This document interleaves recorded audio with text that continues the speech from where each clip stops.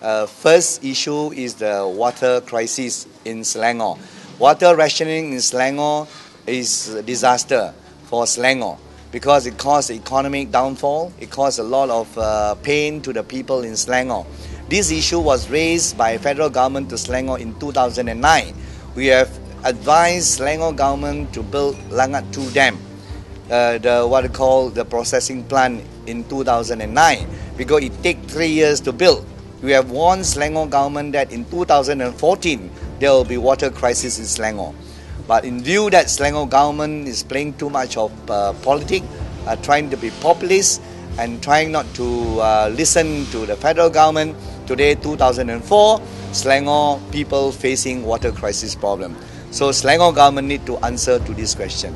Second, at the moment, because of water crisis, we have 785 projects have been delayed and cannot get approval.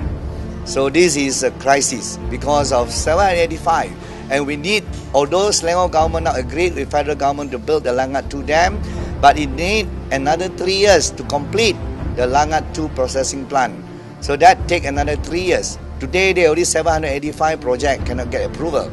So that will affect in the next three years.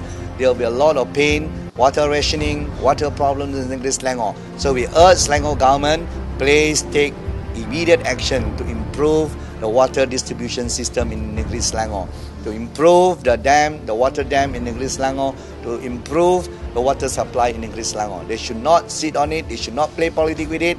They should not uh, try to be uh, playing a populist uh, approach again to resolve uh, this water crisis in Negeri Selangor. Uh, the, the Chinese Guild Association is very supportive of the MCA move to prevent the Hudud law to be tabled in Parliament. As you know, there are private member bills to be uh, to be tabled. We have launched a signature campaign, and all of them will be participate and and and help to uh, participate in the in the signature campaign and return the signature form to us in due time. But we must understand the roots of the problem is uh, is PAS. PAS is under Pakatan. It is a PAS private member bill. It is not a government's bill. Must understand, if it is a government bill, MCA will be the forefront to stop the government bill. We will be able to convince the government not to table this kind of bill. But it is not a government bill. Government bill. It is a private member's bill. It is a PAS Ali Parliament, a PAS uh, state government members bill. So it has to be uh, from uh, DAP and even Keadilan to stop this bill.